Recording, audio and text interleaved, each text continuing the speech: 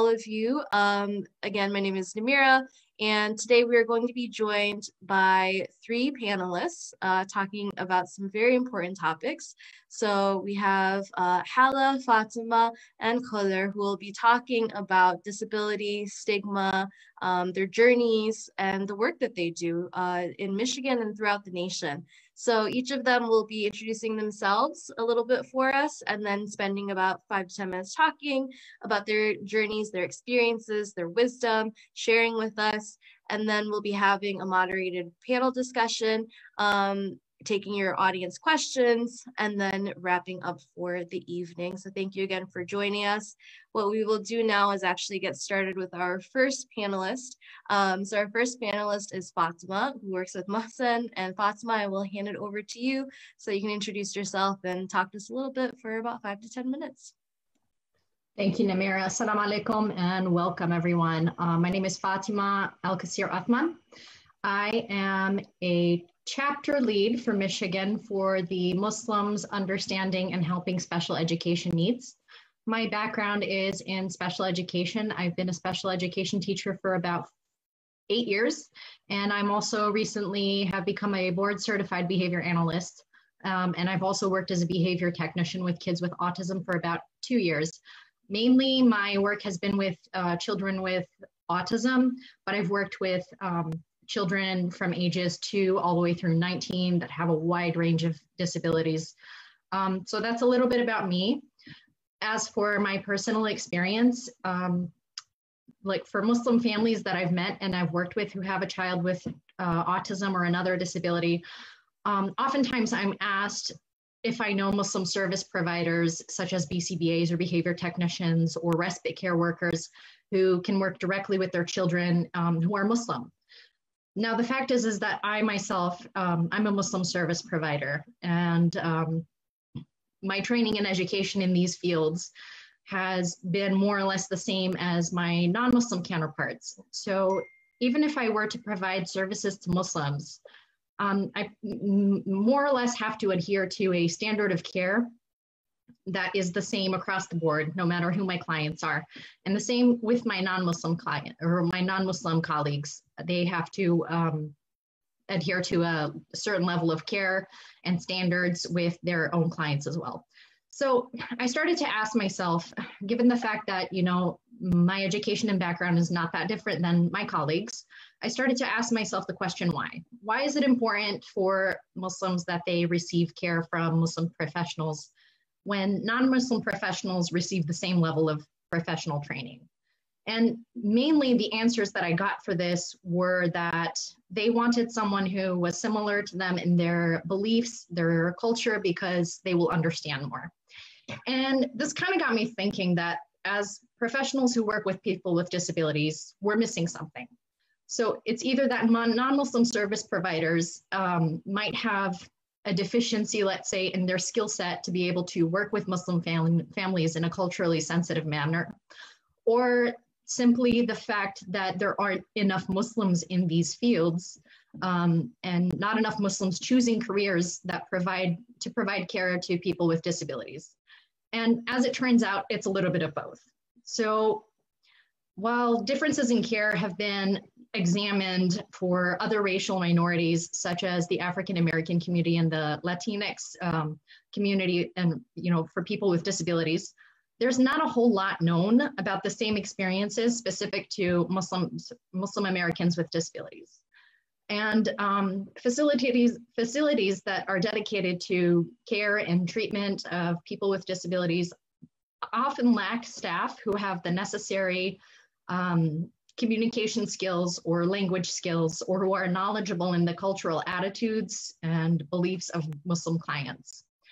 And certain attitudes that we value while delivering services um, in the American um, in the American care system, let's say, um, we value qualities such as independence, self-determination, or person-centered planning. Those might be very unfamiliar to some of the Muslim families we serve and those may further isolate them and um, hinder treatment. And so there needs to be more of a focus on training professionals in cultural humility in order to be able to work with Muslims.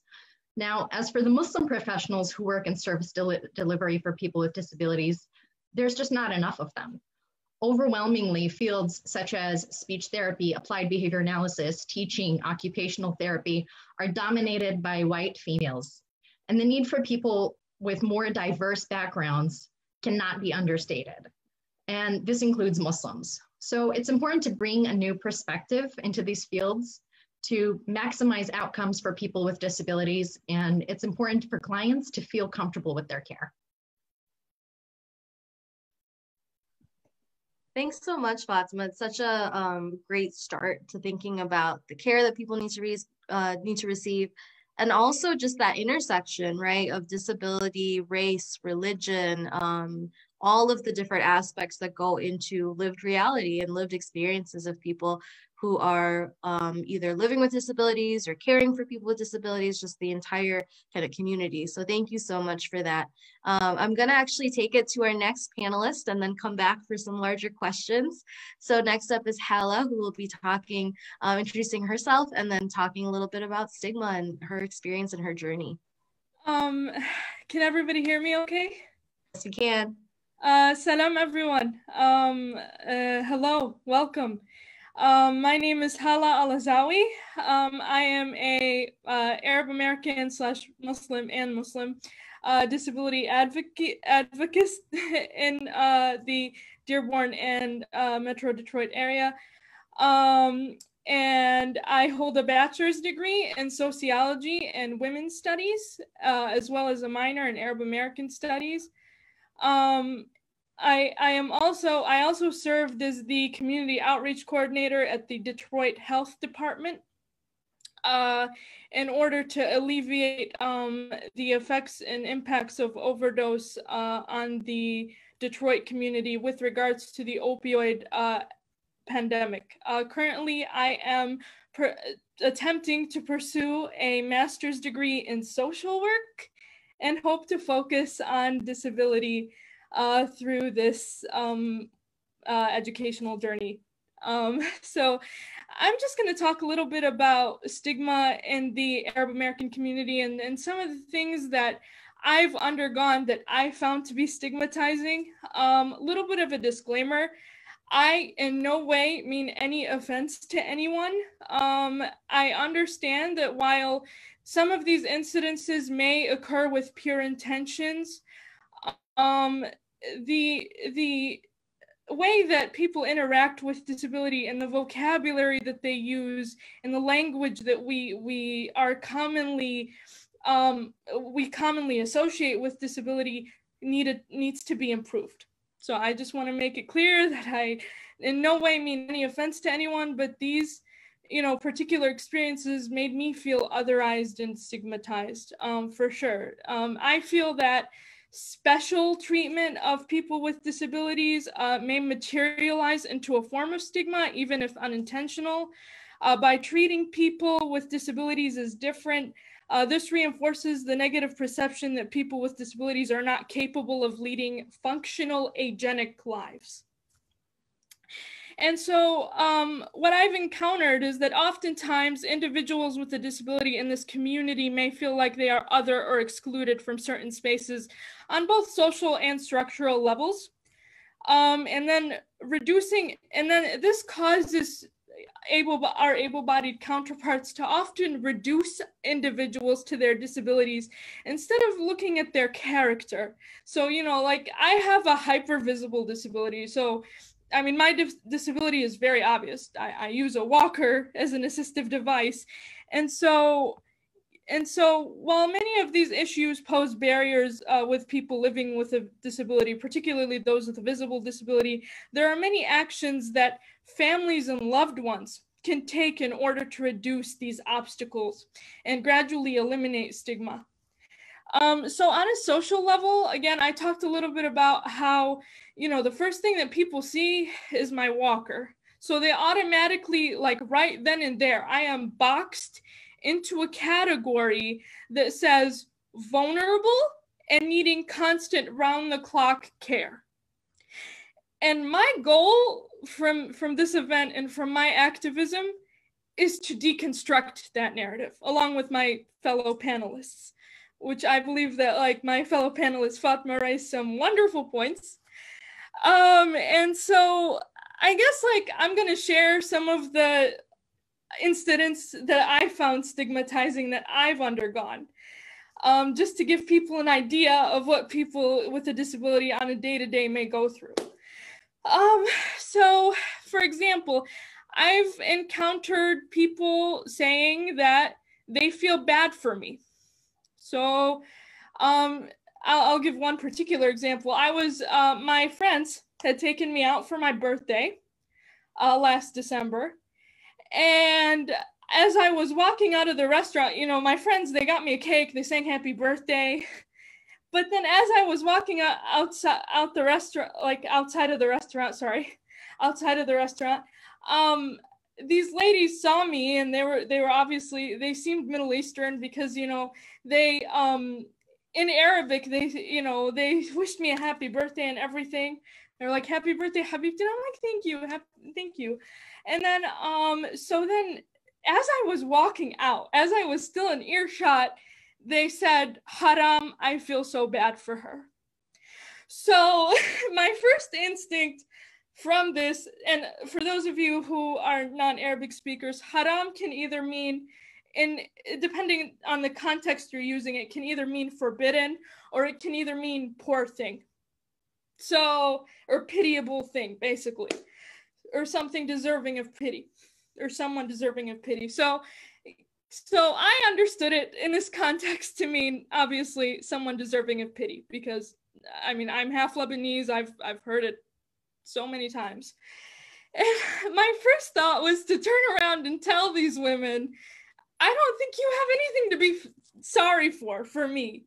I have, uh, you know, a, a bachelor's degree from a, you know, pretty repu- reputable institution with two majors and a minor and I graduated with with high distinction and I'm I'm like serving as the community outreach coordinator at this really great department. But I didn't. I didn't turn around for fear of uh starting a fight, you know, because I was always taught, you know, like by my parents, I, I love them, but my dad always taught me, you know, like they're just trying to help. You know, they're not, they don't mean anything malicious. Don't walk away from confrontation. But, you know, I, I did feel sort of bad that I didn't turn around and I didn't you know, stand up for myself and that I didn't make it out that I'm more capable than they think I am. I'm much more capable than they think I am. And although I I you know, I knew that they didn't mean it in a malicious way. They didn't intentionally mean it to come off as malicious. It sure came off that way because they were otherizing me. They already placed me in this category because of my walker and and they didn't even like care to get to know like who I was as a person. Uh, uh, granted, I don't I don't need them to even to try to get to know me if they don't feel inclined to do so. They were just people in passing. But at the very least, give me the same dignity that you would give an able-bodied person. Give me the same dignity because honestly, it's so frustrating. Like being at the gym, like a couple months ago, I was called an inspiration for for just like being on like machines like everybody else. I am like, and I'm sorry if I'm coming off as pushy, but I am tired of this narrative because I am not trying to inspire you by doing an everyday thing. If it was like, I guarantee you, if it was like, you know, an an Arab man who's able-bodied, they, they wouldn't they wouldn't be like, "Oh, you're, you know, you're an inspirational person." But because I believe that because I'm a woman, and which makes me already vulnerable in the context of the Muslim community because I'm a woman and because I have a hypervisible disability, I'm constantly, constantly being bombarded with this inspiration sort of narrative when really I'm not trying to inspire you. I'm trying to do an everyday thing that that I have a right to do. I have a right to be in this public space and I will not apologize. It took me a while not to apologize for the space I'm in. People would run into me and I would be the one to apologize. I would be the one to say I was sorry because I thought that the problem lied with me. For so long, I internalized the fact that because I'm this way, that I I have to apologize, that I should be the one, you know, telling them, you know, I'm I'm sorry for being this way, but it's not me. It's the society that wasn't built around people like me. You know, so it's like so it's very very like frustrating and I'm I'm sorry I'm getting a little like emotional here. But it's just it's it's very frustrating not to be treated with the same dignity that I treat all individuals. You know, and and it's just like I I know that I'm one of the people because I want to be a social worker and an advocate for all vulnerable populations you know, I look at people's situations first and I don't judge. You know, it's like, don't look at me and just assume things about me and just like, you know, follow me around like you want to help me, like you want to do a charitable thing for me. If I didn't ask you for help, you have, I'm sorry, you have no right to help me. I'm an agenic individual and I reserve the right to ask for help when I when I need help you know and i and i'm sorry i know you're trying to do a good thing but please please for everyone listening today please end this narrative around vulnerability and and and and disability. Please end this narrative because you're taking away from our agency by doing this. You're taking away from our right as agenic individuals. And i know that you know you may have the best of intentions and i respect that. But please take the time to come up to us and ask because that gives us the dignity we need. And um and also like you know i've like i this shaped my perception since i was young too. I'm just gonna like add one final story and then i'll get to the you know way that we can improve. So even when i was young like my parents they never made me feel like i was any different. My father God bless him and like you know keep him in his health and everything he he always encouraged me to go out there and do the best that I could. You know even when things got hard he you know he always thought that I'm going to be you know someone who inspires other people. And I'm again I'm not saying I'm not being like um I'm not trying to like gloat or anything like that. I'm but I just like he always thought that you know I'm gonna go out there and do something and because I have the will, I have the will to go out there and do something, and I have the resources to go out there and do something. So you know he he always thought of me as not any different than anybody else. But even when I was a little kid, I would be excluded from like you know doing like physical activities like playing tag or things like that like i would always be told oh you're being too slow or you're you know you're holding us up. Well you know i i'd appreciate it. I'd appreciate it if parents would sit down with their children and actually like let them know that okay this person while they use an assistive device they're not any you know they're not any different than you. They're not any different than you. They may use a different way to get around, but that doesn't make them like slow or or you know, excuse me for this word, like it doesn't make them like a burden. You know, and I just and I really really like ever since I've experienced all these things, I've I've come to the conclusion that if parents don't change the rhetoric around disability, and if families, if it doesn't start from home, it's not going to change. It's not going to change, unfortunately. But I do have some recommendations um, for uh, parents and you know their children and their loved ones if if they want to know how to dismantle this negative narrative around disability um so you know just you know join um uh, join organizations such as you know the wonderful MDRC, the Michigan Disability Rights Coalition. Um and and learn learn about like you know intersectionality and you know sensitivity training and and like feel free to you know go to like a inclusive health committee meeting you know for the you know healthy dearborn coalition.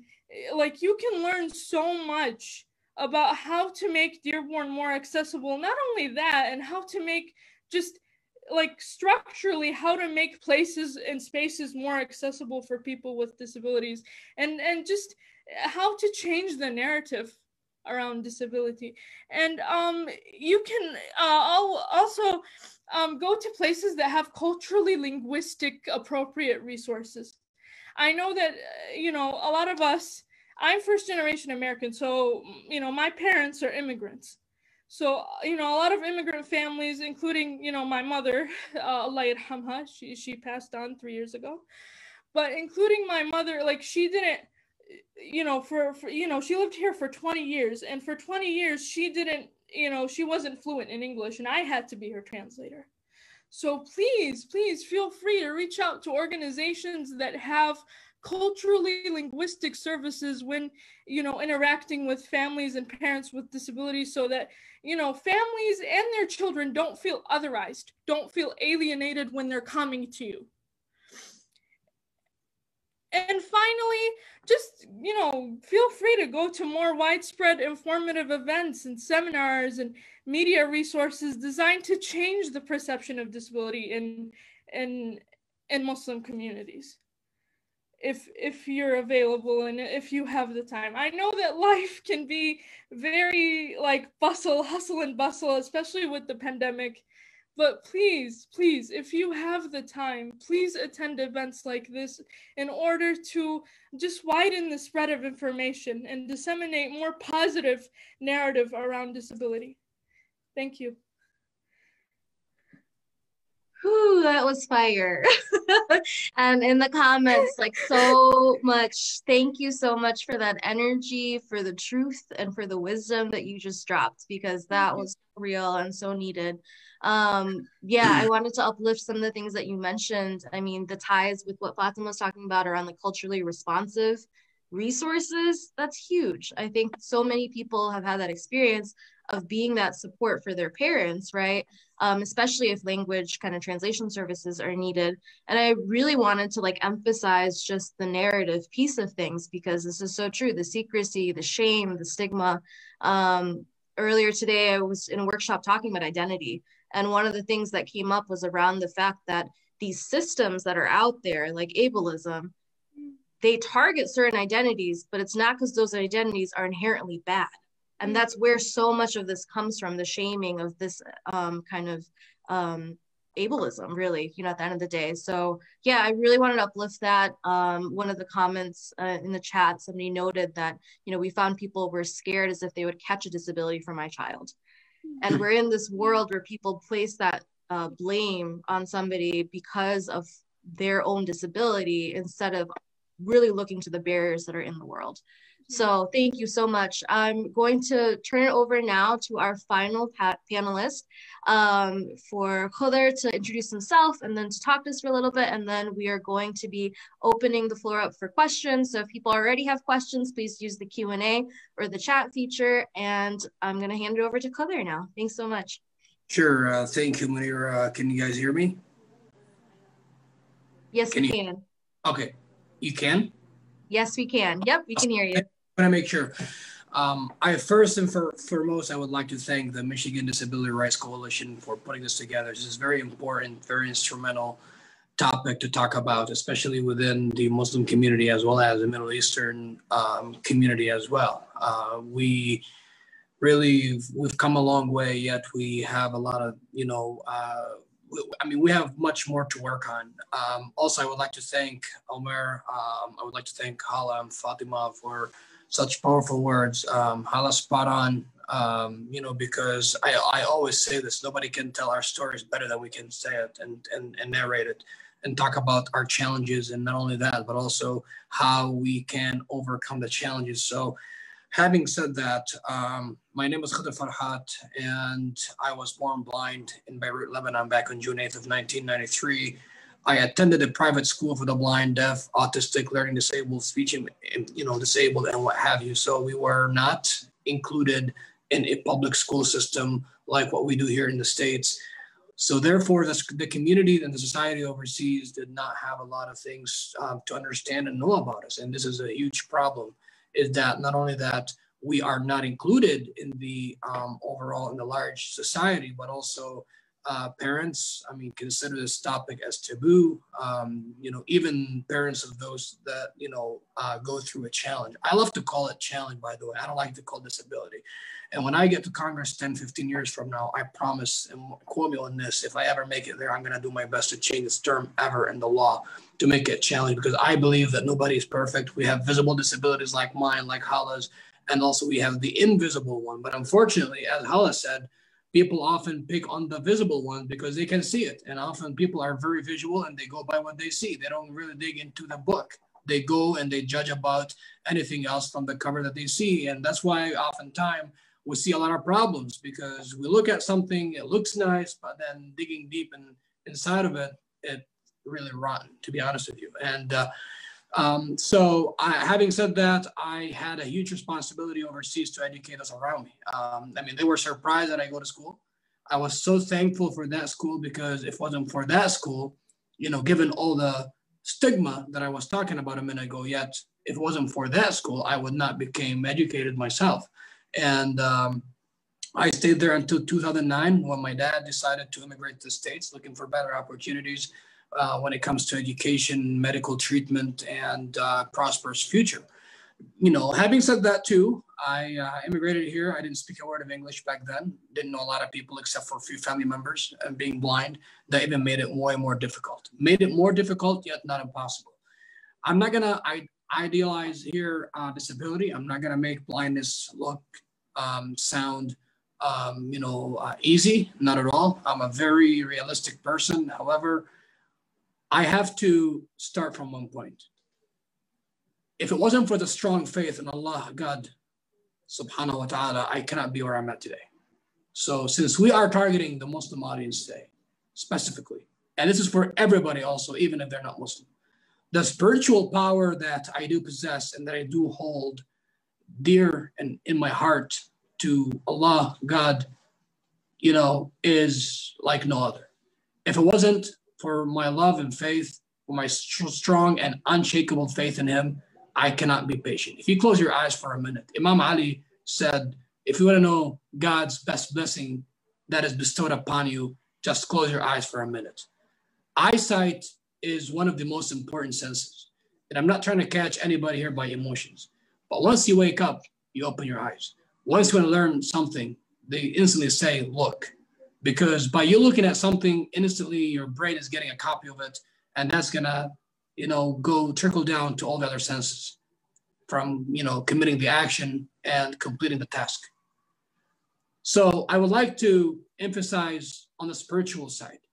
Beside the accommodations and beside the understanding and beside paving the way for equality accessibility and equity if it's not if it wasn't for that strong faith in Allah, God subhanahu wa ta'ala, I cannot be where I'm at today. And I'm not going to be anywhere else. And that's why God is always on my heart and on my mind and in our heart. Coming to the States, I went to Lincoln Park High School because Dearborn does not have a program for the blind. That's why I'm running for school board. That's part of it, is I want to make that adequate representation on the school board. And hopefully winning on November 3rd will make me the very first blind school board trustee ever in Dearborn history. It's not about the accolade. It's not about the spotlight, but it's about making sure that everyone, regardless of their voice, ethnicity, language, color, socioeconomic status, and story, that they have a voice at the table. It is the time to actually sit on the table and no longer being placed on the menu. We should tell our stories and we should voice our own concerns. We know our problems and we do know and we do know the solutions.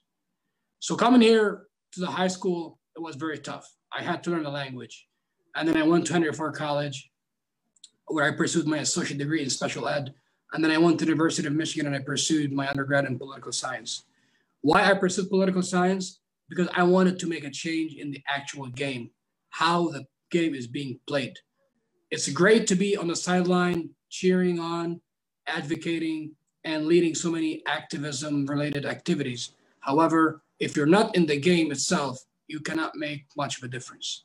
So starting from 2012, I started to volunteer with so many hospitals, libraries, uh, colleges, campuses, uh, organizations, trying to tell people that it's not surprising for a blind person in specific and a disabled person in general to pursue a higher education degree, to actually land on a great job opportunity, to get married, open up a house, and become so successful.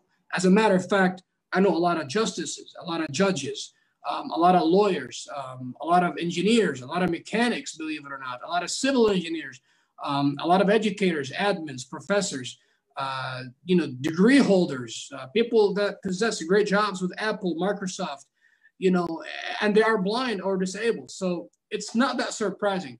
Yes, it is challenging. Yes, it does require a lot of work, way more efforts, and even sometimes, uh, you know, a lot, a lot of other resources like I can tell you one thing, and then I'm going to jump into advocacy and what we can do to improve everything. An average student needs to buy a $200, $300 worth of a computer. Okay, I can do that. However, I cannot access my computer without a talking program. Before MacBooks are here, I used to purchase a $995 worth of a talking program, plus the two, $300 laptop, that's gonna make it up to 1200 Transportation, I can't drive. I can't ride my bike to school. I can't walk to school because of the highways and everything. And actually, you cannot walk at all, even if you can see. What does that mean? It means that if you are not going to land on a great and reliable transportation, and if you're not going to have the resources, if you're not going to be creative, you cannot land on all of these accommodations, which means if you don't, you're not going to pursue education, and therefore, you're not going to land on a job, and therefore, you're not going to build yourself a great life and the future ahead. So as you guys can tell, it's a connected circle.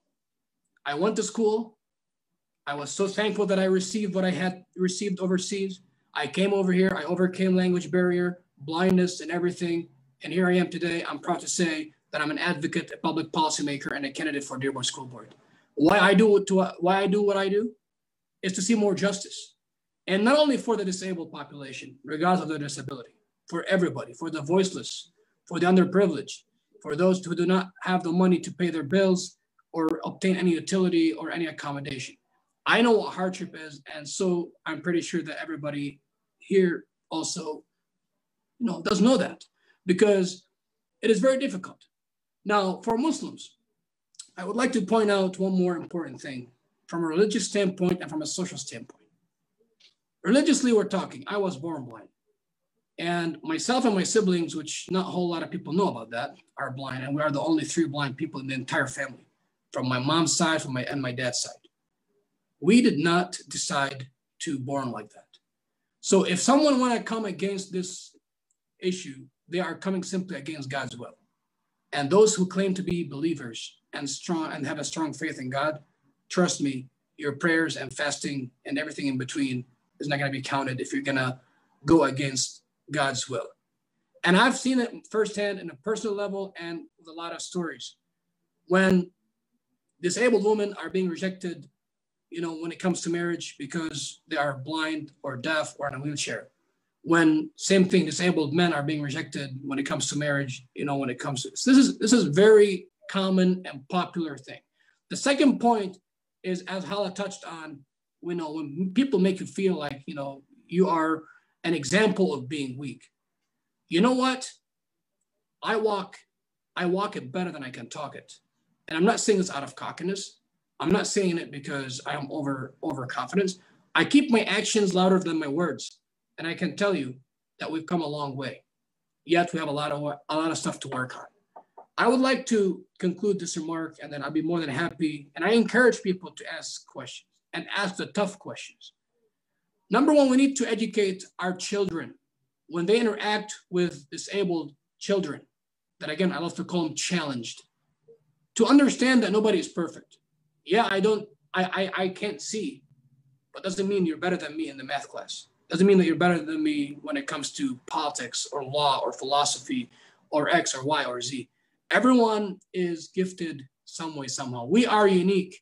And this diversity, what makes us really as humans so awesome. And when it comes to society, I'm blessed to say that I have immigrated to the States because it gave me the opportunity. No place is called perfect. However, at least we have the equal opportunity to apply for a job, go to school, and pursue higher education. However, as disabled people ourselves, it is our responsibility to educate those around us and even outside our network. So many people, they don't mean it to be like, they don't mean to be rude or mean, but yet we can kindly and respectfully guide them to how to uh, deal with us, talk with us in such manner. I go to the gym, for example, before the pandemic, right? I used to go to the gym almost every single day, 4.30 in the morning, 6 o'clock in the morning, 7 p.m., 10 a.m., what have you. And people sometimes, you know, they call me inspiration. And I would like to emphasize on that point. So when I can tell from the first word, you know, like, and their voice tone, like, like what do they mean by it? Now, it can be an inspiration in a good way because a lot of people that can drive and they can see and then they can get themselves to the gym, yet they're not doing it. While I am my, I'm talking about myself, I can't drive and yet I'm in the gym taking care of my health, which is the best God's blessing that is was bestowed upon me. But when people overly comment on that, yes, as Hala said again, sorry for picking on you, Hala, today. As Hala said, you know, it becomes so annoying. Like you think that you're encouraging me, you think that you are uh, being doing us some good and some justice, but whereas you are making us feel abnormal. And that the big border that people should not cross. Yes, it takes village. Yes, it takes courage. Yes, it takes motivation. And yes, it does take perseverance. However, at the end, we, I am blind. However, I have a brain. Hala uses a walker, but you guys listen to what did she accomplish. And if you guys can put yourself in anybody's spot, and if you guys treat others exactly how you want to be treated, trust me, we would overcome a lot of these issues. Thank you. Thank you so much. Again, just all the snaps and everything, because this has been so powerful just hearing from all of our panelists. We do have some questions, but I wanted to kind of link some threads of things that each of you have mentioned before we go to these questions, which some great questions. For those in the audience too, if you do have more questions, um, feel free to add them to the Q&A right now so that I can take a look at them um, after this. So one thing that all of you stressed was education, right? Educating children, educating families, educating service providers, really focusing on those resources. And that's such a crucial aspect of this work is the education. So I really wanted to emphasize that for the audience as well, just really thinking about the action steps that have already been provided so far. Um, the other thing that was the focus was intent versus impact. And this comes up a lot in like social justice kind of spaces where we're thinking about the fact that you can have good intentions, but what is your impact on people? And so when people get offended, where they're like, I was trying to pay you a compliment, I was trying to do this. I mean, these are things that are really harmful. They have a really harmful impact. And it's, um, as Hala mentioned, really shoring up this narrative around who disabled people are and this narrative around vulnerability and pity and all of these really loaded emotions that are completely uh, antithetical to especially our Islamic beliefs. Um, and so that was another thing too. And I wanted to segue with this to some of the questions is around, you know, faith and spirituality and disability, especially as Muslims thinking about um, the work that we're doing and our, our own experiences with this. I know for myself as somebody with more of an invisible disability, that has absolutely come up around hiding it right? Passing, making sure you don't talk about it because people will then end up uh, thinking your chronic illness means you can't serve as a leader in a leadership position you can't be trusted. You are not reliable. So many things and and value judgments being placed on it. It's really critical that we work on this. So one thing that i wanted to ask before we move to the questions that are related to this is a little bit more about the role of spirituality. So Hala you know you mentioned this already a little bit but I just wanted to give you all a chance to kind of address this and think about it. You know, as somebody who is Muslim, as somebody practicing um, what role does spirituality play in how you think about disability, how you approach disability justice in particular, um, and what are some thoughts that you want to share on that? And whoever wants to go first on that front. Uh, may I go first? Yeah, absolutely. Uh, unless somebody want to go first, I don't mean to to jump in in front of anybody. You're good. You're good. All right, thank you. Um, so I touch on spirit, the, the spiritual part um, of my life because because I was raised in a God fearing household, obviously, and I learned that there's no power stronger than God's. Having said that, God did place me in this awesome and the most blessing category. You might be thinking like now, you know, like you're saying that you, like you're blind, you're saying that you're blessed. Yes, I am blessed, not in a way that I'm able to treat people from illnesses, because this is another uh, misunderstanding. Mm-hmm. They think that blind people and, and, and a lot of Muslims, I'm not going to generalize, and this is nothing has to do with our religion, by the way. We have to distinguish between religion and culture. A lot of people think that, yeah, if you're blind and if you pray for God, you know, your answer, your prayers are going to be answered faster than, you know, the, the sighted person, which is not true at all. I know that uh, a couple of friends of mine told me that one time they caught a huge mafia and the leader of that was a blind guy. you know, it's off the topic, but I mean, not doesn't mean if you're blind doesn't mean that you're not smart. I mean, that's again, you know. So going back to to, to being spiritually strong and uh, connected. I mean, this is gonna go also to sighted people or people that have invisible disabilities. So blindness in specifics, as I'm talking about myself, again, it does require patience and a lot of patience.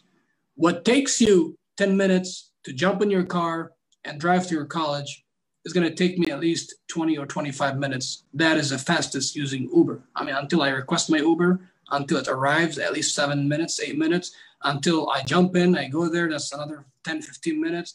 If, if he or she does not get lost, you know, I mean, so that's a very minor example that people often don't understand. And forget about that example. Just looking up the sky and enjoying the view of the birds, the water, the sky, what have you, God's beauty and God's creation. Another thing is having that strong connection that you're not going to lose faith and you understand that there's going to be a better tomorrow. However, that better tomorrow is not going to come by itself. And, and you have to try and you have to fight for it. You have to earn it. You have to work towards it.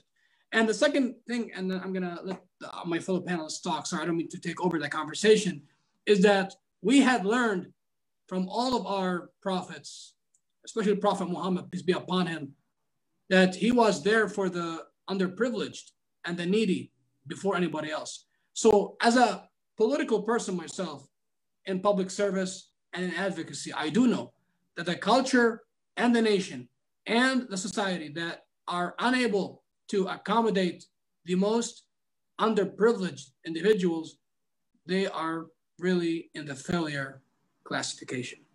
If we cannot accommodate, if we cannot empower, if we cannot pave the way for them to live with dignity and respect, we are not doing it right. Thank you. Thank you. Powerful stuff. Fatima Hala? Um, may I? Yeah, yeah, go for it. You'd like to? Um, okay. Um, so I think that in our community, a lot of people may equate, you know, what it means to be a good Muslim with like helping other people. And I mean, yes, all of our messengers and particularly our Prophet Muhammad, peace be upon him, advocated for helping others, alayhi salatu wasalam. But there's a difference between assuming you want to help others because you want to gain a hasana or a mm-hmm. blessing and helping others because they actually need it. So I think there's like this narrative in our community or what I've encountered from my own, you know, social circle and my own family members is that, you know, they want to race to help me just so they can get a hasana. But I think to deconstruct that narrative, we need to look a little bit more as we need to look a little bit more at why Sayyid, our Prophet Muhammad alayhi salatu wasalam, you know, he advocated for helping people to to advocate and push for equality for all human beings not so you know people could get a hasana for for helping somebody with something that they already know how to do. You know, he and I would also like to touch on what my fellow wonderful colleague Khodr um, said that we we are like we we deserve or deserve to live with dignity. So we we deserve he alayhi wasalam tried to ensure access for for all individuals and I think and I think that accommodating people instead of assuming what they need help with would be much more would would be much more constructive to the cause than than just assuming that somebody needs help and being like okay i want a hasana so i'm gonna help this person. No no. Salatu wasalam wanted you to accommodate us so that we can get the resources we need not so you can race to us thinking that we need help just to get a just for you to get a hasana. I'm sorry it doesn't work like that. If your intention is just to get a hasana that's actually not that's that actually goes against what you were trying to do in the first place. Because alayhi salatu wasalam believed that everybody should live with dignity, not that somebody should decide, you know, how, you know how that person should, you know, should interact with others or not, or should be living or not. You know, like or not not so other people can decide, oh, this person needs help. Let me go, you know, play the good Muslim and help them out. And again, I'm sorry, I don't mean to like you know, bash anybody again. I don't mean to offend anybody. I'm just saying that like intent versus impact like Namira said. Your intent might be might be pure and, and might be, you know, wonderful, but the impact of it is is more severe than than you intended. And so I'd much rather that somebody help me get accommodations in order for me to get what I need independently than for somebody to assume that I need help just because they see me using a walker. Thank you. Powerful. Thanks. Fatima? Um, yeah, so I think when it comes to the question of the role that religion or faith plays in how we view disability. It's a complex one, and there's not a straight answer. On one hand, you have the way that the Quran describes disability and the way that it is um, portrayed in the context of you know, the Quran and Hadith. And more or less, it's neutral. So it's neither positive nor negative, it just is there. And then you have the interpretation um, how some people interpret those ayahs, um, maybe how culture also plays into the role of how we interpret religion in regards to disability.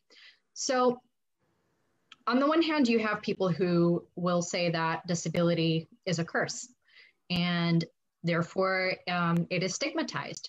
And um, it, if you have a disability, it must be because you have your parents did something bad and therefore Allah has cursed you, you know? And that obviously is problematic because it excludes people with disabilities from, first of all, being able to access services that they need. Um, and it alienates them from within their own communities. Oftentimes, there are families that don't even tell extended family that they have a child with disability. And so that really kind of like shrinks the world of the immediate family of that person and of that person um, himself because there's not a support network. And so we have problems with with coping because there's not a support net, um, network. We might have problems with um, depression and um, other issues like that.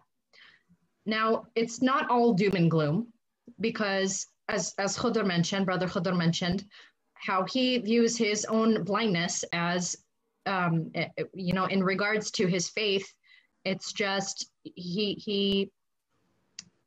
It's not something negative. It just is, and you know, we try to kind of um, accept that this is qadr, and for that means um, something that is predestined or preordained, which is which is a very uh, foundational belief in Islam.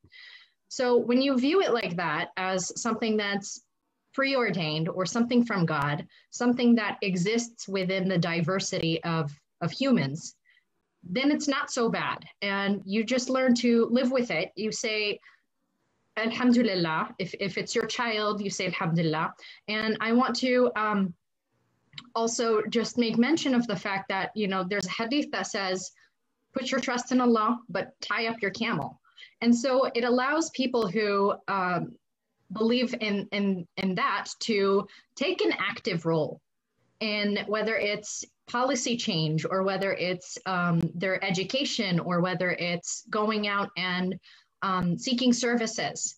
Um, it gives them an active role. It um, allows them to see themselves as free agents rather than just taking a passive role in um, their family members or their own um, disability. So um, there's that. So I think when it comes to faith and religion, it can be either a good thing or a bad thing with how we view it. Um, and I just want to say that again, like we're all created. you know, Allah said that He created, you know, tribes and nations of us so that we may get to know one, one another. That doesn't just include race, it includes disability. And for those of us who were blessed to be born able bodied and um, uh, and it's not through any merit of our own. And that doesn't make us superior to someone who is not able bodied. It's it's just a simply a, a, way we exist. And so with that, I say, you know, if if you're blessed to be born with your full faculties and you are able bodied, what are you doing with that? What are you doing with that? Are you using it to um, are, are you using it to do things that are helpful? You know so, so like uh, sister hala said um, are you using it to accommodate? Are you using it to educate?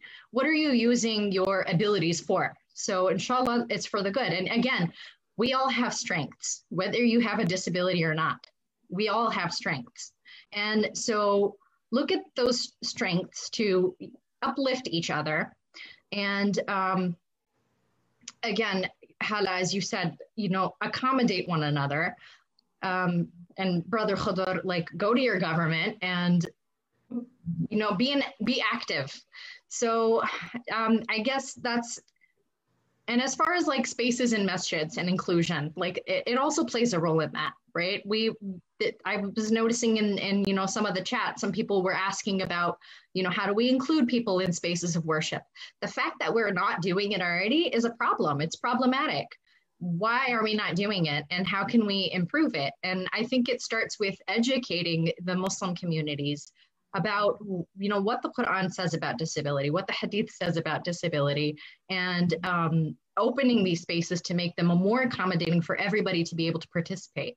So I, I it's it's the problem is not within the disability itself that prevents people from being able to participate in spaces of worship. The problem is in how we allow accessibility to spaces of worship and um, and opening up um, communities to accommodate for individuals with disabilities and special needs. Thank you. And you segued so well into this question around like religious spaces, especially like masjid, community centers, and making those more inclusive and reducing stigma. And it really reminded me of kind of the erasures that happen too. I mean, people often talk about when it comes to like racism and Muslim spaces about, you know, Bilal radiallahu being the first person to, to call the adhan from the Kaaba, right? And I, it took, it was a while before I heard the story that the second person to call the adhan was a blind man. And that's not something that is often talked about in terms of the fact that accessibility is where we should be focusing and not on the disability being a barrier in and of itself. It's really just the accessibility that is not happening. Um, and the other, yeah, go ahead. No, I'm sorry. I didn't, I didn't, I didn't mean to cut you off. Go ahead. Oh, I was going to say, like, you know, when it comes to some of the blessings, blessings can be tests in and of themselves. So for somebody who has um, who is able-bodied, like this is a test, right? Like, what are you going to be doing with this? Um, and especially, are you contributing to the erasure or the stigmatiz- stigmatization of people who have disabilities, who have cha- challenges? Are you making sure that you are paying attention to this? So, Khodr, go ahead. Thank you. I just wanted uh, to highlight just a couple of things. Um, so when I mentioned that uh, blindness is a blessing, uh, I just wanted to emphasize a little bit more about what I meant by that. So it gave me the opportunity to look at things from a way deeper lens. meaning I don't care about what kind of house you are living in. I don't really care about what kind of car you're driving. I don't really care how you look. What I do care about is your heart, your morals, your principles, and the mutual respect and trust that we build, you know, as we go. Having said that, it also gave me the opportunity, okay, to feel with the needy and the underprivileged. Because if I myself know what hardship is, I'm certainly, when I reach a certain situation of comfort, I am expected religiously, ethically, morally, and from a humanitarian background to give back and to aid those who are in struggle because I was among them one day. We should not forget how we were and where we came from. And again, this is really, we're not doing anybody a favor. If we claim to be Muslims, real Muslims by actions, not by intentions or just by titles, we have to practice that. And this is one of the major pillars. That's why we have Khumus and Zakat. You know, it's not to go and blast it on social media and inform the world that we donated $5 or $5,000. It's really to empower those that are in need without shaming them and without, you know, putting them in a spot that they feel that they are less dignified. Another thing is with regards to the second blind, the second uh, person who gave who adhan, and that's another thing that I do struggle myself oftentimes. Like, believe it or not, believe it or not, guys, when I'm not putting on a suit and a tie, just like in my casual, people think that I do nothing at all. People think, unless they know me, unless they've seen me on social media, at a newspaper, at a television interview, at a webinar, uh, on, a, on a commercial, because I started doing that as well. I filmed two commercials, um, you know, lately, um, you know, but those who do not know me from the first, you know, minute, just like what Hala says, they assume that I do nothing and I collect social security, which is nothing wrong with that. I'm not, you know, trying to say that this is bad, but they think that I can't work and I can't do nothing. On the other hand, even strangers who do not know me, yeah, absolutely. They do acknowledge my disability because I have a white cane and I am blind, which I'm so proud of. However, when they see me in a suit and a tie, they think I'm a I'm an educator, I'm a lawyer, or what have you. So it's really how it's really incredible how people, you know, vision and uh, can really fool them. And with regards to the mosques, I think that we have to shift, um, you know, as imams, as, you know, people, the worshippers. I think we have to shift the discussion, you know, same thing in the households, from being pity and just from being blessed, you know, uh, to treat, you know, individual with disabilities in a pity way. I can tell you from my on, my, on my behalf, I do not allow anybody, with all due respect, but certainly in a very respectful manner, I don't allow anybody to abuse, you know, my um, my like my comfort zone. I'm not gonna allow anybody to make me feel less or or, or lower. Why? Because they have nothing, nothing, because I have nothing that make me do that. I mean, I went to school like everybody else. I pursued my education. I work. I pay taxes. I'm a very productive citizen. I'm very involved, very engaged, very active. So this is very important too. We have to stand up for our own concerns and issues.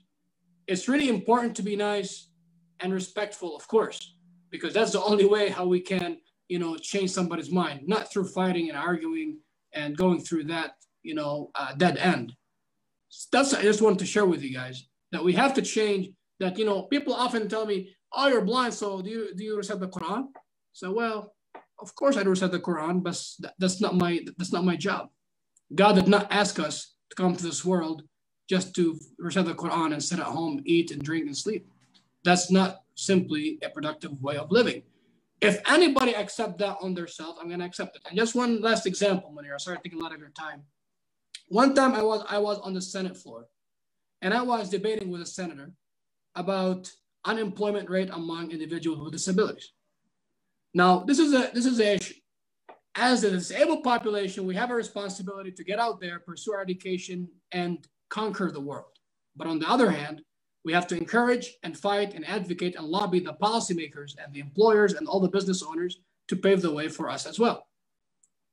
Now, one time somebody was telling me, yeah, but you guys, um, a lot of you guys collect SSI, social, social, social security disability. or income, supplemental income.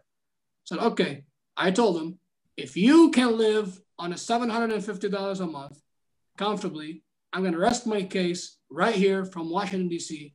And I'm going to tell all my buddies, all my fellow challenge individuals, you guys are making a fortune every month. Go sit at home and don't say a word. And then what was his response? Simply nothing. What he's going to say, can he live off uh, 750 a month? Who can? All right. Who can? With paying rent, bills, expenses, especially again, as I touched on earlier, as disabled people, we have a lot of extra expenses due to our accommodations. My mm-hmm. MacBook cost me $1,300. If someone who is sighted, if they have the luxury of buying it, good for them, but they don't need it. I need it as a blind person because it has a built-in talking program. 10 years ago, not for making a commercial for them, but Verizon was the only company that really housed iPhones which also are Apple products, which means that they also have a built-in talking programs. Back then, it used to cost me two times more the bill than it is today, simply because all the companies now obviously have iPhones. So as you can tell, with the unemployment rate that is among the disabled population, which is considered a minority within a minority as Muslims in the States and the world, you know, I mean, talking in general, mm-hmm. all right, we have a lot of barriers, but we have to stand up for these barriers and we have to just, you know, rise on top of one at a time. Sorry, taking a lot of your time. Thank you. No, thank you. And I think that's such an important point around like the cost, right? And the ways people place the burden back on the individual and not on the system. So now, I mean, that just reminded me, it's like nowadays we have Alexa and all these various programs that people are using voice activated, and it's seen as kind of an easy thing to do. And even within COVID space, right? certain accommodations that were just not doable before all of a sudden we're able to do this virtually we're able to do um, certain things that you know people said we can't do this via virtual we have to come in person and those barriers are suddenly now that it's a necessity able to be um, shifted so it's really important i think tied to that too um, there was a question around I wanted to, so there's a couple of questions that I want to pair together. Uh, so I hope that's okay for those who ask the questions. Um, one of the questions, a couple of questions were around resources in particular. So what support is there for, you know, Muslim families, um, the gaps, uh, are there Muslim specific resources or support groups that, you know, the panelists you would recommend for those who are, you know, Muslims with disabilities, families that have somebody who has a disability. So what resources are out there? And why I thought I'd go to you first. Yeah. Yeah. Um, so I'm going to talk about MUHSEN. If you want to visit the website, it's muhsen.org. That's M U H S E N.org. This is a nonprofit organization that is dedicated to the inclusion of people with disabilities and the education of the community at large. Um, one of their biggest programs is the uh, mosque certification program. So it, there's three levels of certification, and in order for a mosque to be certified, they have to meet certain standards at each level. So at the first level, which is a silver certification, you simply need to hold an awareness event. Uh, I believe it's two awareness events. You need to give two khutbahs or sermons on Friday.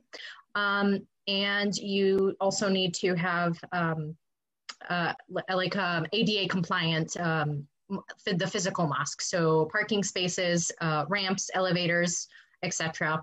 Um, and uh, MUHSEN will help to support you in, in getting those um, or working around somehow making those spaces more accessible. At the next level, there they, there's also things like um, holding parent support groups with someone who is licensed. And um, I know that they, now they have a peer buddy program um, at the mosque that I work, I facilitate at the Muslim Unity Center here. We were able to acquire a Braille Quran.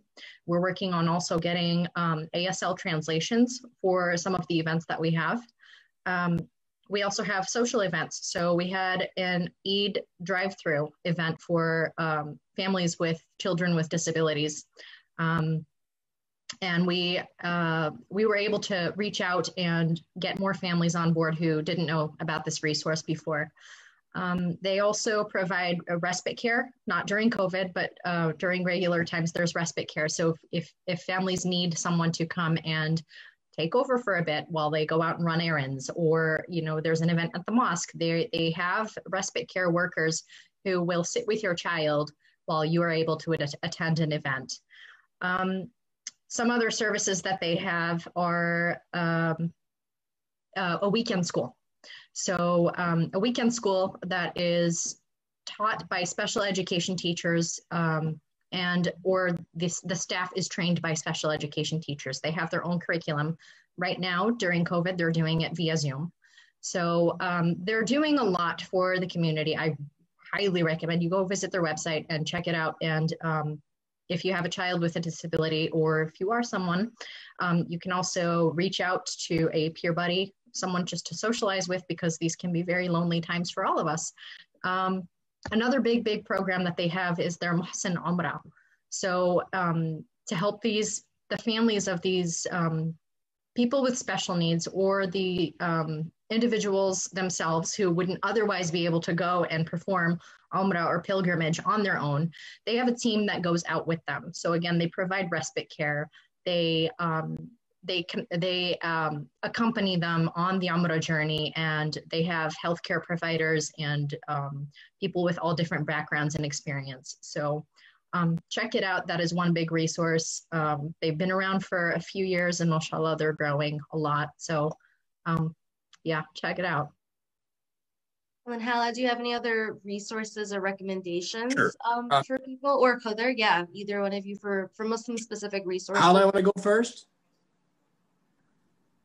Um, well, I mean, I'm not really informed on the resources. Like this is oh, that's totally fine. Yeah, I wanted to make sure that I, am not. I'm not like blocking you off. That's all. That's why I'm. um, oh no, no, don't worry about it. I'd love to hear you. what you have to say. No worries. Thank you. Um, so uh, Fatima, of course, thank you so much for all the great stuff that you guys offer. I think, to be honest with you guys and all the audience uh, that is in attendance today, the number one thing, the number one resource, believe it or not, that we often overlook or even don't think about is inclusion. Are these all are all these activities? This is not this is not for you, Father. I'm not asking you, sorry, I don't mean like to put you on the spot, but this is really the question that I asked even that I asked on Henry Ford College campus when I led that change uh, project, even the question that I asked when I led the multi-year project on the University of Michigan uh, campus. Um, all, are all these initiatives, events, are all the ideas that we think about are actually going to promote inclusion? Because see that the problem. We often organize some stuff for the disabled population and they often being like singled out, you know, or in a lot of cases, they are not integrated into the large community. So what a good thing we're offering, I mean, of course, besides providing the service itself, and again, I'm not I'm not really targeting anybody here, but because as a blind person myself, I've been through it. And I've been blind all my life. I'm 27 years, so trust me, I've been through it many times. Now, if we organize something for the disabled population, whether blind, autism, or anything like that, how the non-blind or the not the sighted people, the people that are not familiar with autism will understand and learn that these individuals are not any different in a bad way from us. So I really encourage inclusion and diversity because the disabled population is a major part of the social, political, economic, and cultural fabric of the society. You know, I mean, we are not any different. We are diversity. Disability is diversity. That's number one. Number two, we do have a lot of organizations. I mean, it depends on the uh, disability. Um, if somebody is blind, obviously we have a state agency called the Bureau of Service for Blind Persons. Uh, they assist the blind student um, or the legally blind student or even the low vision uh, student from high, from K through 12, and then they follow up um, after after high school graduation. If somebody with a developmental disability, also uh, we have a state agency being deaf as well. I'm working now currently on um, creating a Wayne County wide uh, commission uh, that takes care of the disabled population. Believe it or not, believe it or not, we have about 14 to 15% of Wayne County population are, are labeled as disabled. We have almost 2 million disabled residents in the state of Michigan. Who is taking care of all these issues from a policy perspective? That is why myself and our state representative, Abdullah Hammoud here uh, in Dearborn, big shout out to him and everybody who's working on this project. We are trying to reactivate the State of Michigan Commission on Disability Concerns that was dissolved back in 2012. And this commission is not sought or ought to provide services and accommodations as much as it provides insights and ideas and suggestions to the government, um, you know, leadership, meaning to the governor office and to the state legislature. So by having these uh, services-based organizations alongside the public policy and advocacy organiza organizations and the legal aid, meaning the attorneys and justices and judges, I think we are going to reach a more inclusive society because we need to take care of everything from its uh, aspect. We cannot take care of the service, you know, side of the issue and then forget about the advocacy and vice versa. So inclusion, inclusion, inclusion is very huge. and That's really what I really admire about the school system in the states is that uh, although we do have a room called the VI room, which stands for visually impaired, yet the students that don't need you know much of transcribing help or you know converting anything that is visual to braille or, or audio, they are attending general ed uh, classes like everybody else, except the fact that you know we used to use a computer, which now everybody is using a computer, especially with the pandemic. But even before the pandemic, obviously everything has shifted to technology. So I just wanted to uh, focus on this it's really that we need to ask, yes, the disabled related population, um, I'm sorry, uh, services and, and, resources are not much well promoted. And that's really what I touch on all the time, that we have to promote um, our services, our accommodations, our organization, and we have to support them. And uh, let's do that. Again, I'm more than happy to cooperate with anybody. Thank you. Thanks. And I think that's such a comprehensive answer too, right? With, oh, we lost Hala for a second. She'll be back uh, with thinking about the fact that it's a comprehensive strategy, all of it. Oh, okay, good. You're still there. Okay, great. Yeah. So really thinking about like comprehensive strategies. Mm-hmm. Go ahead. Sorry. Yeah. Uh, no, please, please go ahead. Comprehensive strategies in regards to yeah, in regards to change, right? So it's like starting. We've talked about starting with families. We've talked about thinking about the organizations and the service providers, and then thinking about the policy aspect and the advocacy work that needs to be done on that wider kind of governmental level. So I really appreciate the levels of this. And Hala, one thing I wanted to kind of amplify too before we pivot to kind of probably our final questions, looking at the time, um, was around kind of your work with like the Dearborn Coalition and then also with the Detroit Health Department. I'm just wondering if you could speak a little bit to kind of the work that's being done around both the governmental level of things, but then also like the personal coalition side. Um, well, actually, that ties into exactly what I was gonna say. Can Perfect. you hear me, or should okay. I call in? I, I, can do. I, I mean, can you hear me, or should I call in? I can do either. No, we can hear you. Go ahead. Go ahead. All right. Cool. Cool. So I think what I learned from my time at the Detroit Health Department, especially because we talked a lot about mental health and the stigma around substance use, but I think it can be applied to the disability community as well. Meeting people where they're at, A, so offering like, you know, like social services or, or like just like physical services or what have you, because some of these families may not be on, may not be insured, so they may not have the the means to access these services just offering like some sort of like you know financial services or just like ways or grants for people to apply to in order for them to be able to access certain services or maybe like if there was free services um you know centered around disability advocacy or, or things of that nature or you know like not even well i'm sorry not even disability advocacy but like healthcare services like you know that are free and that are available to like vulnerable families or marginalized families, especially with regard to the pandemic. You know, a lot of people face income loss and job loss. So, added to the stigma, we also have this component of like financial struggle. Um, so that's one. Two, I think in order to have person centered care, we need to like have people like look like me, people that look like me and brother Khodr and you know I, I, I know that you mentioned that you might have had an invisible disability, if I'm not mistaken. Yes. Just just people with you know like combination, like a diversity, like a plethora of people, and then a, a diversity, like a diverse, I, I guess collection of people. I don't want to say collection, group, group.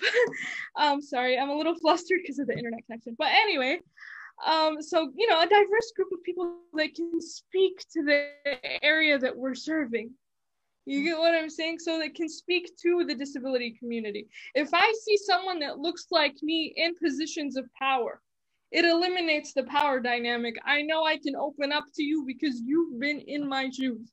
You're, you're going to give me an empathetic and uh, non-judgmental view of what I'm going through and what you know we've all been going through. You're you're going to find unity in our struggle and you're going to help me find the resources I need if you've been through similar struggles that I have been in. So I think it speaks a lot to people. And, you know, even like at the health department, I attended this, you know, three day, yeah, it was a three day conference around, you know, uh, the stigma around substance use and, and things like that. And we talked about a meeting people where they're at, so not imposing any form of treatment on them and kind of just gradually just uh, implementing those treatment services as they need or as they want.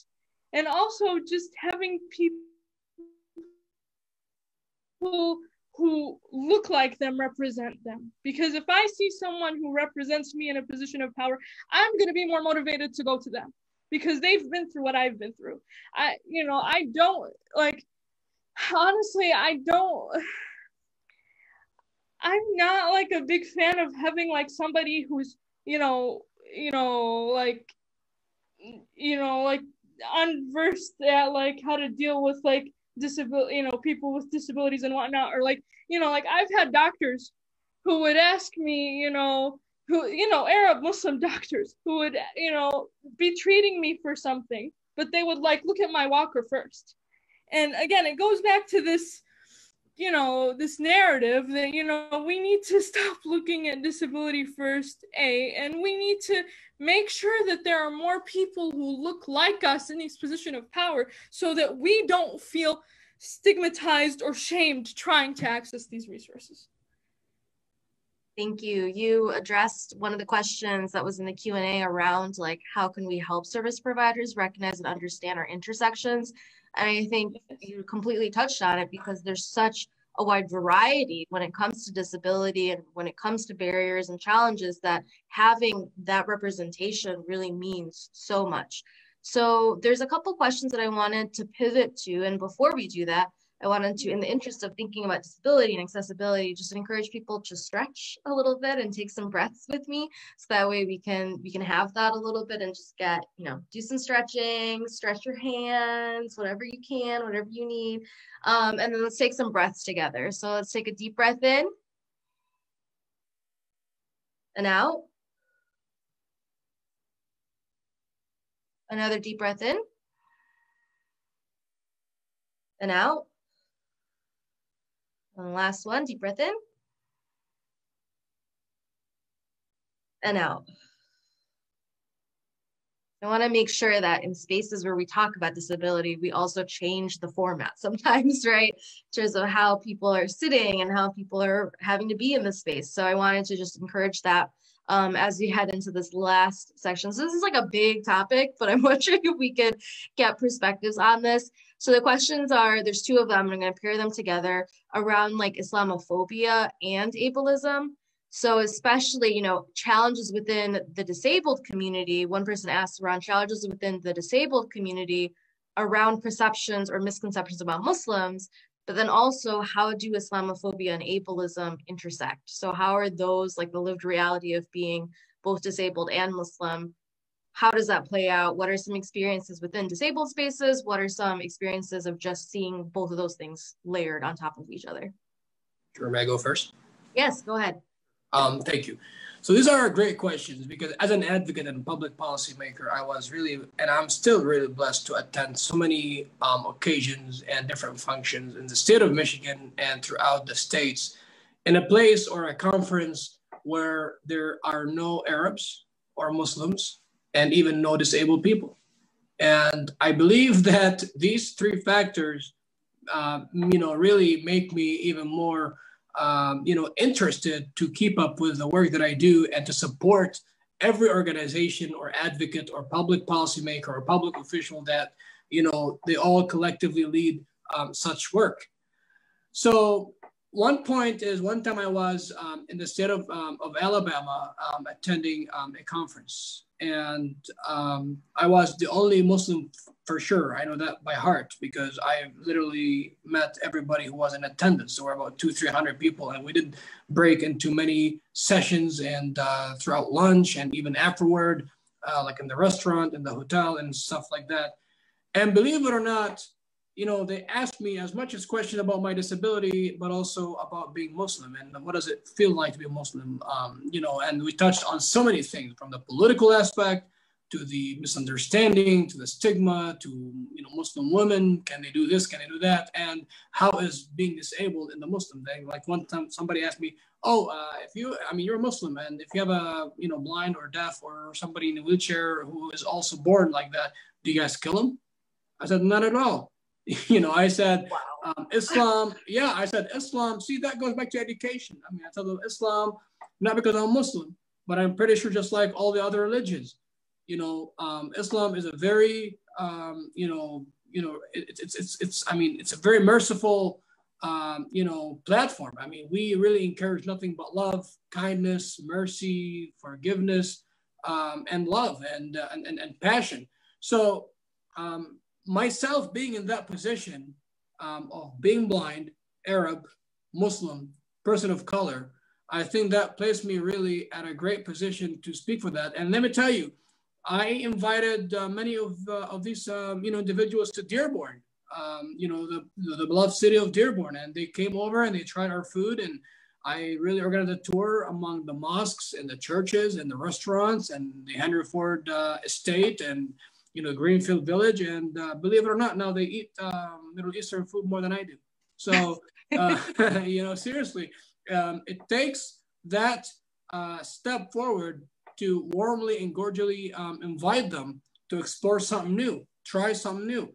And uh, same thing goes back to disability. Um, Hala, we are not going to reach a time where we are going to say, yay, we are 110% included. However, whether that person in power has a disability or not, we have to remain vocal. We have to remain strong. We have to remain, um, you know, consistent because consistency in advocacy uh, goes hand in hand with reaching the goal. If you just speak up about one matter and you don't really follow up on that, yeah, they're gonna forget it. So I just wanted to emphasize on that too. But yeah, this is a really awesome experience to be in such a situation that you're not going to find anybody like every single day going through that same thing. Mm-hmm. Thanks. And how same similar question around like intersections of Islamophobia and ableism, you know, experiences within the disabled kind of different community spaces around being Muslim or misconceptions around being Muslim in those spaces. Um, well, for me, I guess like, um, you know, like I've well, when I was a little kid, I mean, this is the most like this is like the most like um I want to say prevalent incident in my mind because I, you know, I don't like I I don't look Muslim, so I, you know, I'm not veiled obviously. So you know, people might think, you know, at first glance when they look at me, they might think, "Oh, you know you're you know white or you're you know what have you or you know the, eh, their first assumption isn't muslim because i i mean while i i identify as a i do identify as a practicing muslim i don't present myself as such. So a lot of people might think oh you know you're you know they might assume that i'm christian or or what have you. But like i remember um, and speaking of visibility, I remember when I was a little kid, um, I was told not to speak a- Arabic in front of like, you know, in, in school or in, you know, in classrooms because it was like post 9 11 and like people just did not want me to make my Islam or my Arabness known in any way, shape, or form just because of the violent rhetoric that was happening around that time like it was like there was a lot of tension happening at that time but it's like you know being muslim and being arab is is a part of who i am and you know it was very hard not to embrace I thought, okay, you know, you know, I'm, you know, I'm Muslim. I'm proud. I've been, thre- I've been praying since I was really young and things like that. But it's just, I understand that if I got like if I veiled right now, if I chose to like wear a hijab right now, I would be a lot more visible as a Muslim woman with a disability. And then the assumption would be like, oh, you know, like I and I hear this from my, you know, able-bodied counterparts who have hijab, whether they're able-bodied or not, who wear hijab, that oh, you know, you were you know some of the rhetoric might be oh you were you forced to wear that did somebody you know force you to like put on hijab suddenly like because eh, the the rhetoric around hijab is that oh you know like some of the dominant rhetoric around it especially in, in western media is that it's oppressive. When really it's actually a declaration of of a woman's islam and, and a declaration of her i mean depending on the interpretation declaration of her modesty and her devotion to to her religion so you know it could mean a lot of things to a lot of people.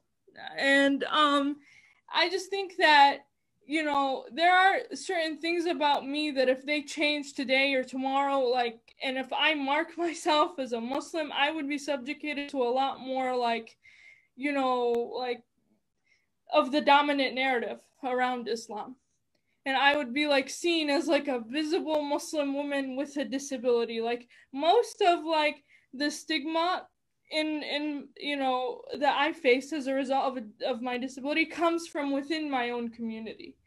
There are like questions that are asked, you know, in the Western community about my disability, but they make it clear that they're just curious. Mm. You know, hmm. they they they tell me right then and there, you know, just curious what what kind of disability you have because I you know what kind of disability do you have because I'd like to learn more about what I can do to increase my advocacy. And I mean this in no in no offense to my community.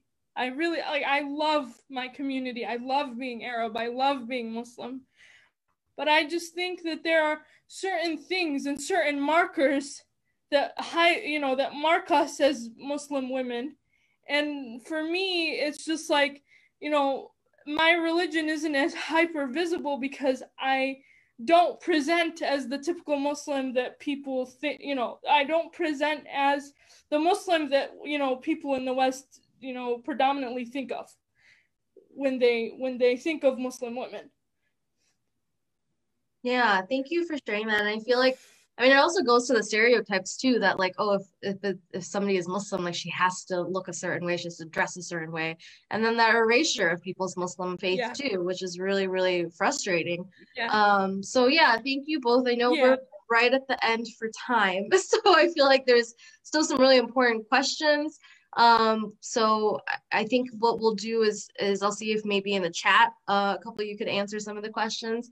Um, but I wanted to make sure to respect people's time and and you know it's a saturday. So thank you so much. We've had so many participants just just one last comment if you don't yeah, mind. yeah and i wanted to Please. give the panelists a chance to to do some closing remarks. So i wanted just... to thank yeah i wanted to thank uh you're good. I wanted to thank um the people for like kind of in the chats and the questions and just really thoughtful thoughtfulness with it.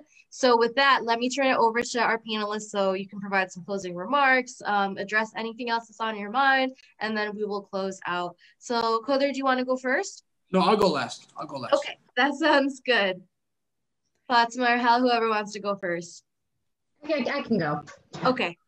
So I just wanted to close with some things that the you know the Muslim community can do to reach justice, um, or what people can do to contribute to um, disability justice. So, first of all, I'm finding that there's not a lot of research, like at all, as far as um, Muslims with disabilities. Research on on Muslims in the in the United States is uh, very low, and then research on Muslims with disabilities is even lower.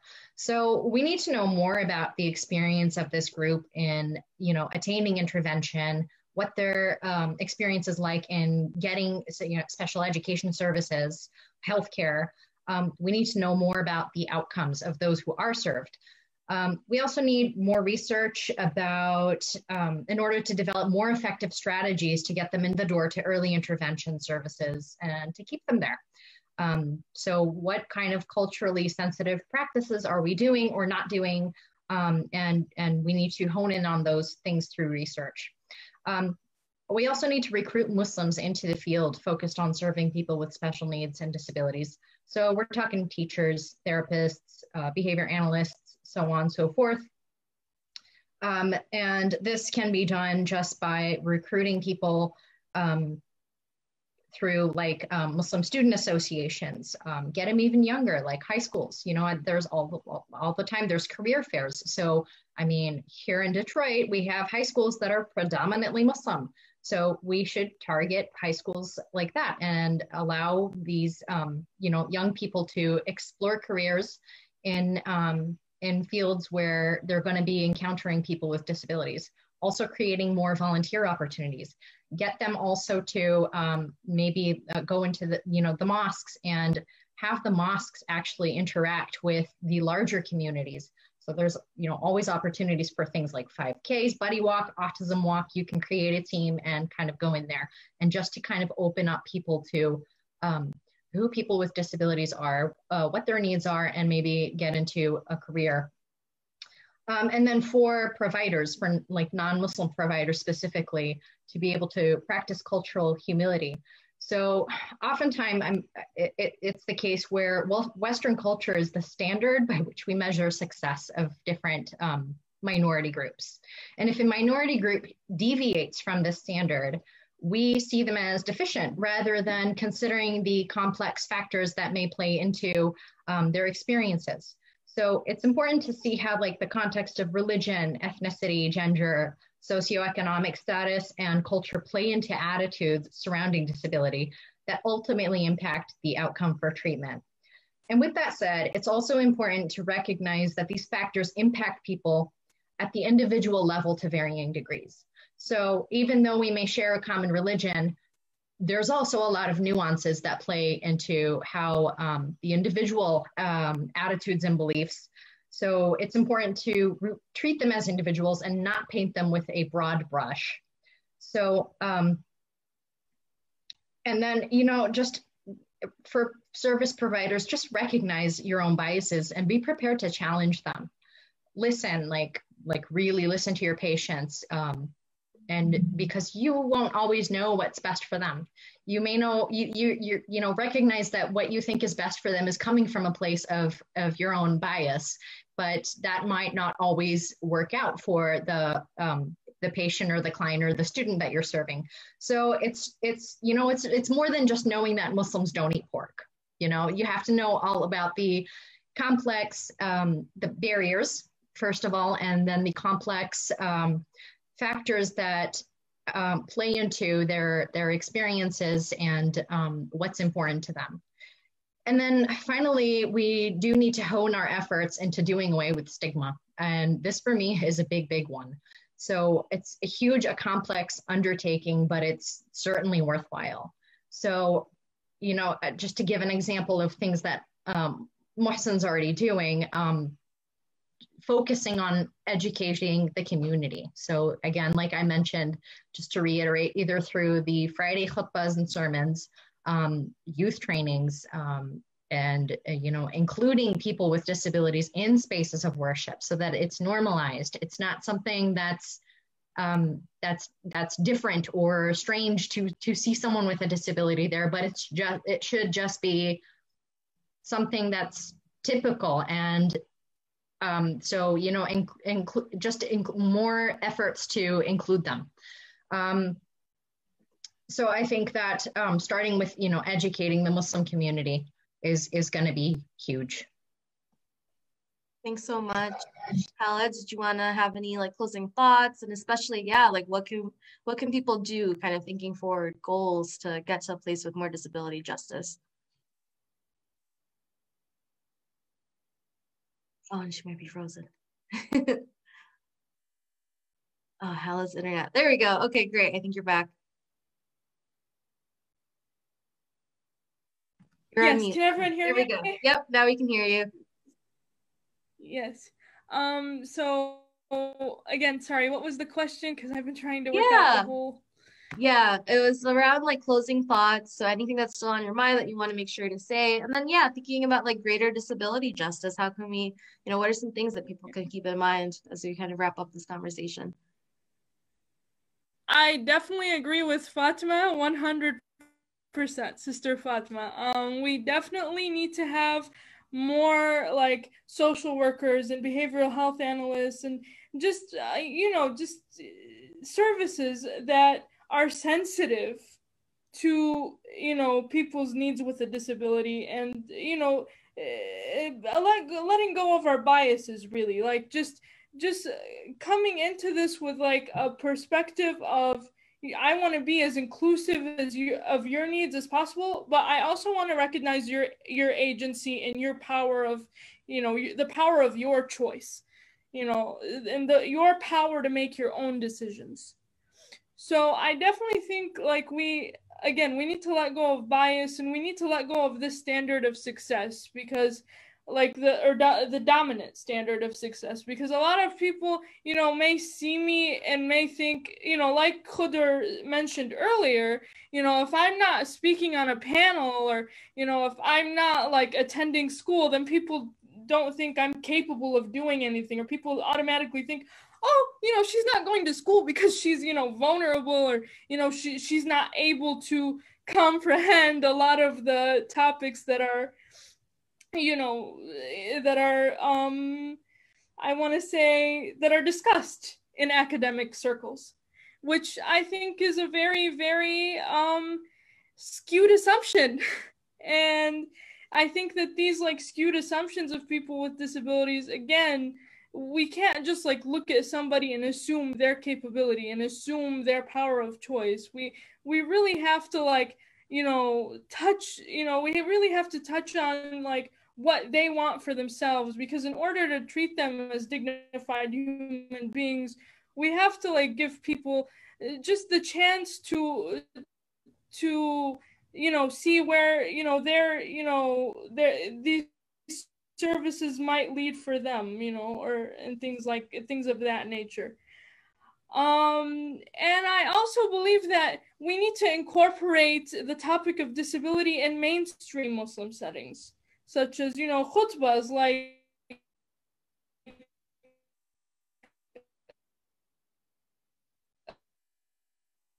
um, Sister Fatima mentioned, into our circles we need to stop trying to bury it under the rug and and automatically assume that oh this is too shameful for the family you know just you know because again they're like and i didn't get to touch on this as like i think Khodr mentioned earlier too that you know there's this common narrative that you know those who were born with a disability like it's a form of punishment when really like you know it varies you know in interpretation for everyone but you know i like brother Khodr see my disability as a blessing because it enabled me to identify the needs of those most vulnerable and marginalized populations in a way that's constructive in a way that doesn't look down upon them in a way that includes all people of all races of all abilities.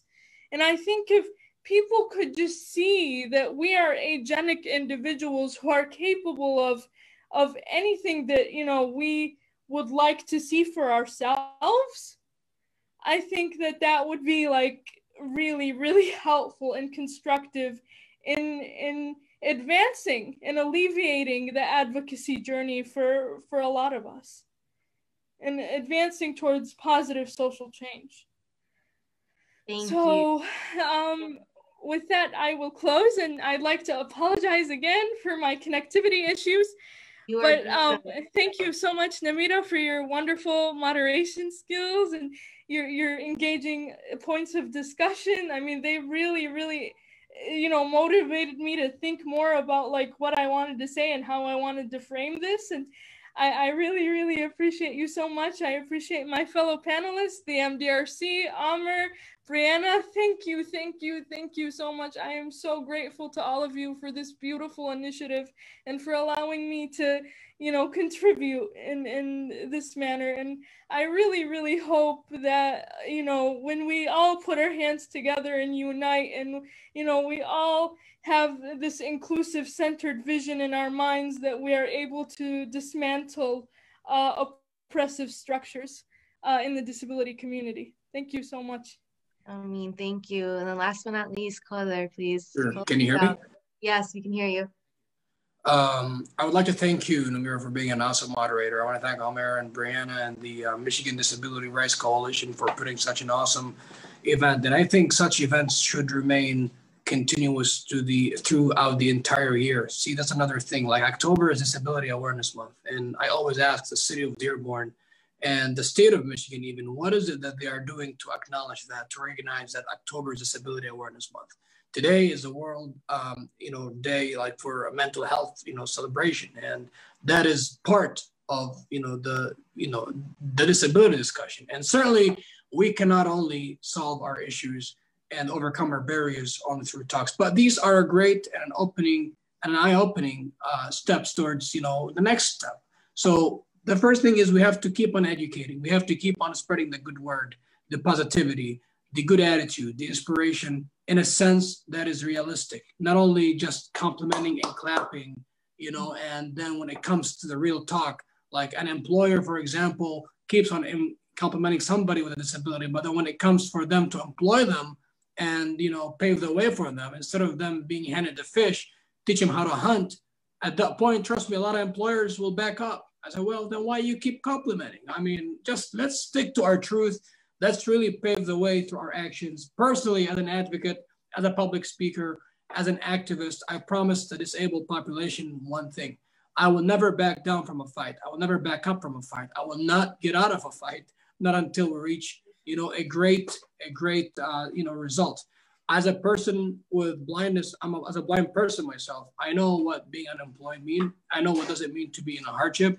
I know what does it mean to be a barrier. I know what does it mean to um, to feel like you know not that respected. For that matter, I can tell you that I'm not going to stop that until uh, you know we even uh, try our best to end uh, the stigma, whether in the state of Michigan, whether in Washington D.C., whether all over the states and even the world. I think in America we've come a long way. Our technology is helping us uh, extremely um, great um, you know, the uh, unemployment rate is going down as a result of a lot of advocacy efforts from all the organizations, all the individuals, everybody. So I kindly invite everybody, as Hala said, to, um, you know, stand side by side. Let's collaborate. Let us work together. It's not about fame. It's not about the spotlight.